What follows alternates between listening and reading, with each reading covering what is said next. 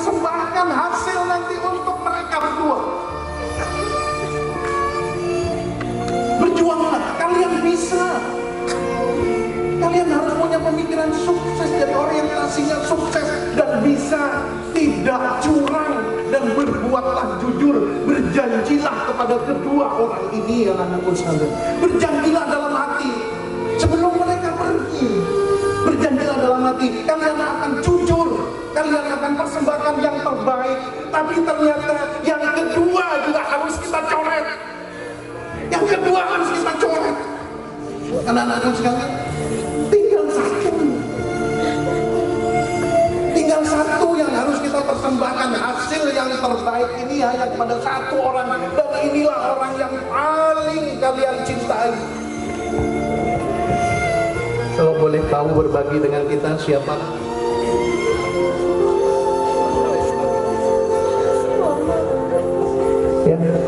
Mama.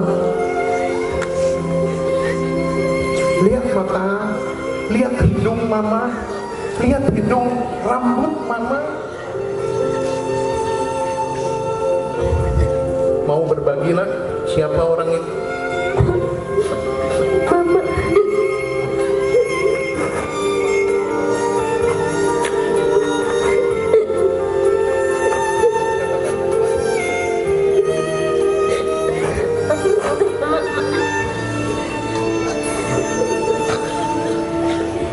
Katakan sesuatu untuk orang yang terakhir.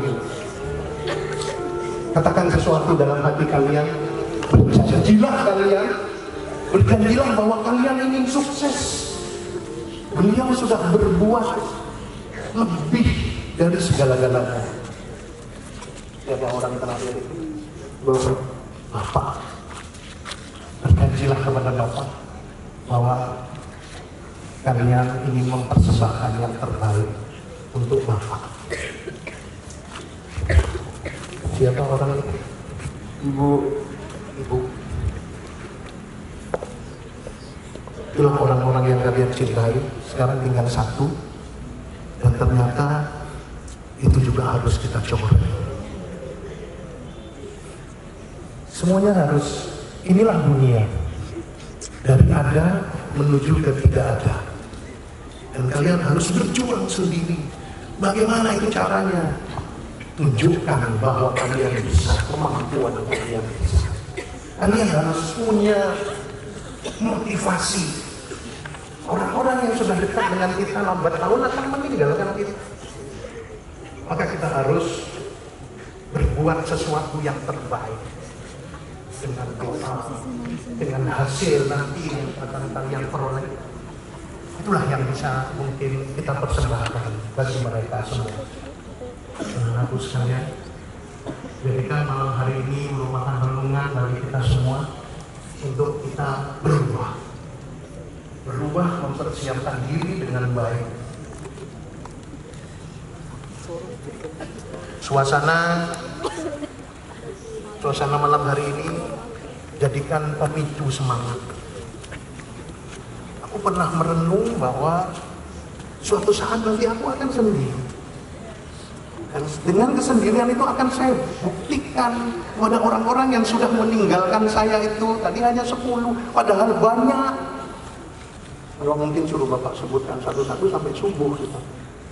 Baru 10 saja. Dan anakku sekali lagi berjanjilah dalam hati. Berjanji untuk kita berbuat yang terbaik bagi orang-orang yang kita cintai sebelum mereka meninggalkan kita semua. Begitulah kesedihan kita kalau mening mereka meninggalkan satu-satu meninggalkan kita, kita akan sedih. Tapi kita harus berbuat untuk mereka. Mereka akan bangga, akan melihat kita. Walaupun jasadnya sudah tidak ada, tetapi mereka yakinlah mereka akan melihat kesuksesan kita. Tunjukkan pada mereka bahwa kita adalah remaja-remaja hebat. Kita adalah nantinya remaja-remaja sukses. Itulah kebanggaan mereka. Itulah kebanggaan kalian. Itulah kebanggaan Bapak dan Ibu guru. Satu tambah satu berapa? Dua. Kalau satu bagi satu berapa? Satu bagi satu itu satu. Ternyata matematika penuh arti bagi kehidupan kita. Ketika kita berbuat satu, berharapnya satu, maka yang akan kita dapatkan satu. Satu bagi satu itu satu. Matematika kita lanjutkan. Bu Lis ini jagonya matematika. Satu bagi dua berapa anak? Satu bagi dua berapa? Setengah. Artinya apa? Ketika kita berbuat satu, berbuatnya sedikit cuma satu, tapi berharapnya dua. Banyak, berharapnya banyak. Hasilnya berapa? Setengah, siaplah untuk kecewa gitu. Belajar cuma selembar, semalam berharapnya hafal dua lembar, no, no way, nggak mungkin bisa. Kalian akan mendapatkan hanya setengah dari apa yang kalian harapkan itu. Satu bagi dua sama dengan setengah berbuat satu berharapnya terlalu banyak siaplah untuk kecewa tapi coba kita lanjutkan matematika kita.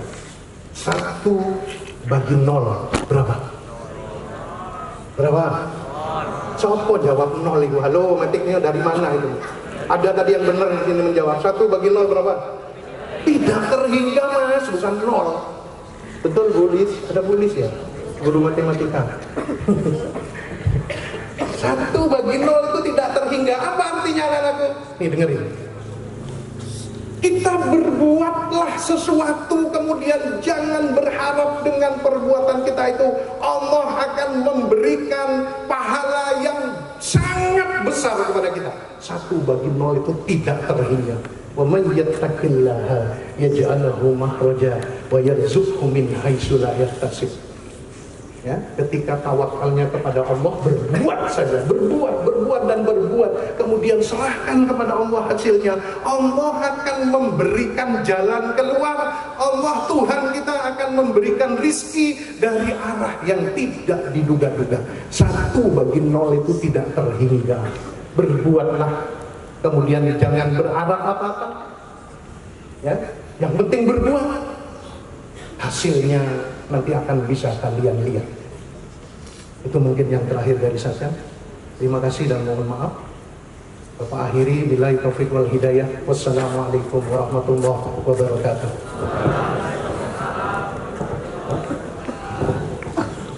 mohon sekalian Bapak diberi doa barangkali. Sekalian Mari anak-anakku sekalian, saya kira ada yang khusus membaca doa ternyata juga di rapel ini ternyata diterangin aja pak lampunya. Nanti kita berdoa bersama. Lo sendi.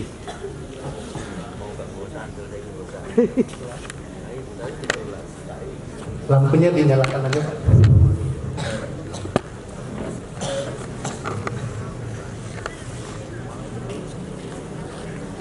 Mari anak-anakku sekalian, apa pun Lampu agama sorot, kalian, lampu sorot. silakan tundukkan kepala. Mari kita berdoa. sorot Bagi yang beragama selain Muslim, persilakan berdoa dengan cara masing-masing. Dan bagi yang beragama Muslim, mari kita awali doa kita dengan bersama-sama membaca Umul Quran Suratul Fatihah. Wa likulli niyatin solehah wal hasanah ala hadhihi niyah al-Fatihah.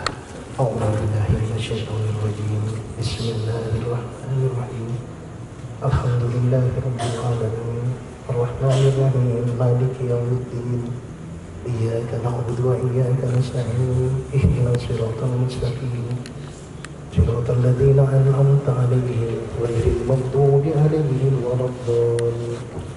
آمين يا رب العالمين. الحمد لله رب العالمين. والصلاة والسلام على أشرف الأنبياء والمرسلين. سيدنا محمد وعلى آله وصحبه أجمعين.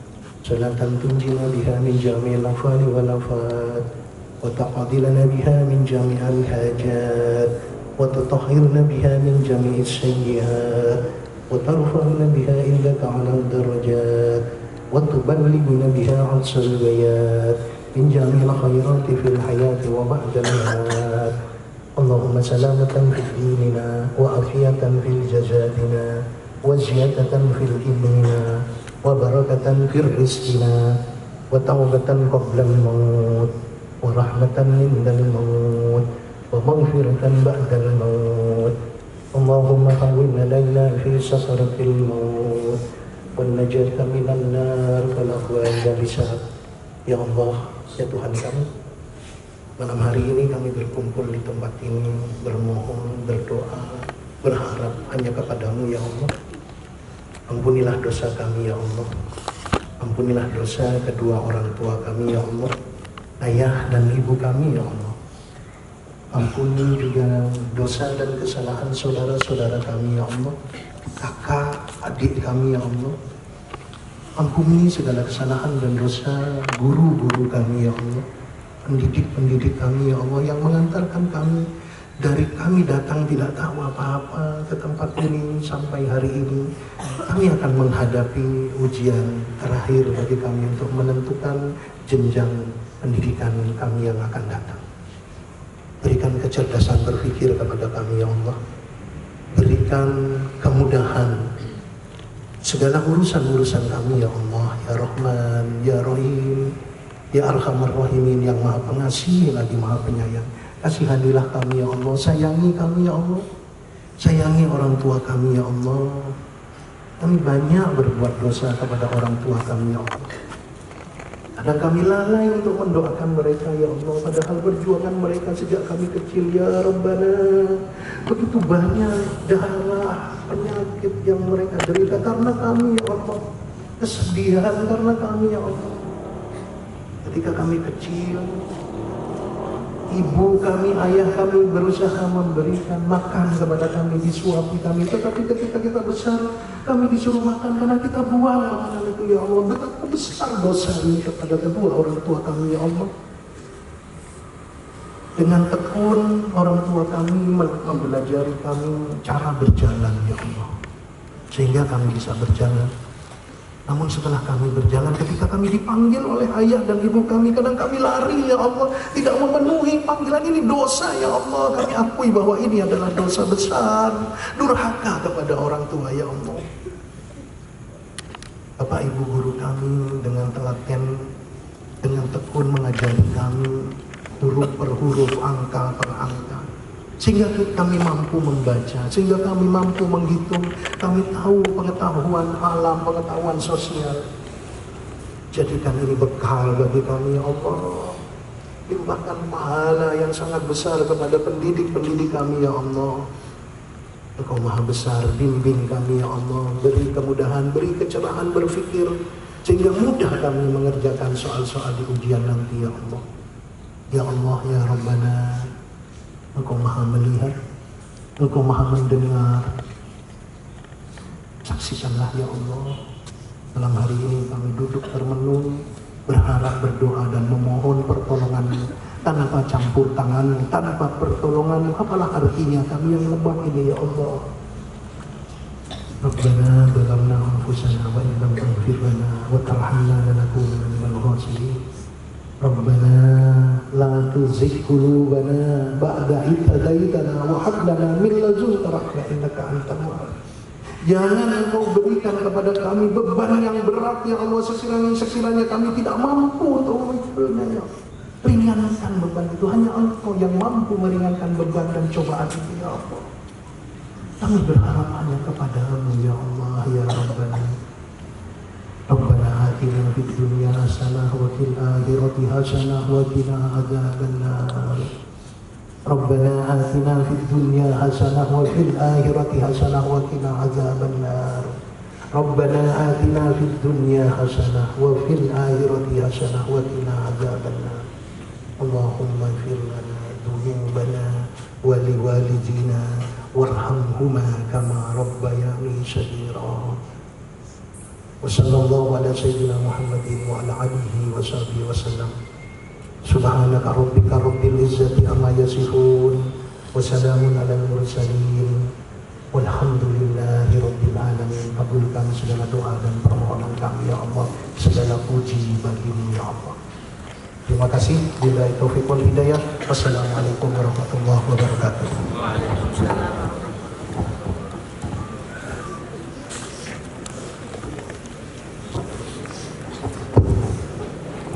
Tadi anak-anakku sekalian, uh, Bapak Ibu Guru yang terhormat, uh, nasihat, himbauan dan motivasi yang telah disampaikan oleh Bapak Joko Sunarto kepada kita semuanya.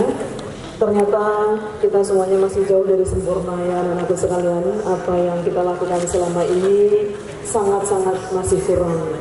Terutama orang-orang ketika kita nanti akan meninggalkan kita satu persatu. Nah, sekarang giliran kita uh, apabila nanti kita di rumah akan menjumpai beliau-beliau yang telah membesarkan kita, yang telah bersasa kepada kita.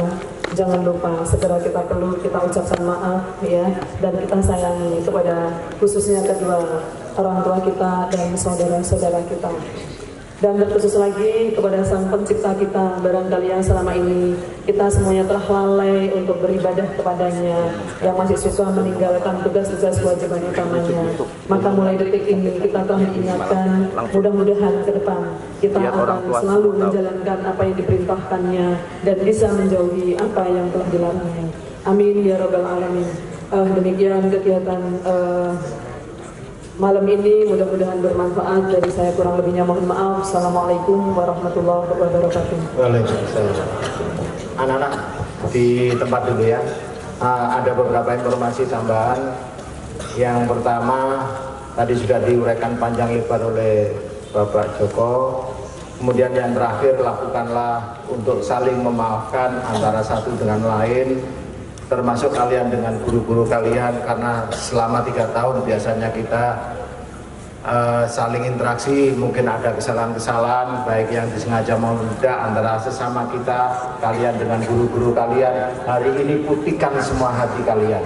Seperti yang disampaikan oleh Bu Puji tadi kadang-kadang kita ada salah di mana pada saat kalau kita mungkin pernah menyakiti hati temanmu dan sebagainya saat inilah yang perlu kalian lakukan. Setelah itu nanti kalian bersalam-salaman dengan bapak dan ibu guru. Uh, kemudian seperti imbauan bapak kepala sekolah tadi nanti kalau sudah pulang langsung pulang. Ini nanti setelah ini bapak dan ibu akan berdiri akan kita bersalam-salaman untuk minta maaf. Setelah itu kalian bersalam-salaman sama teman-teman kalian.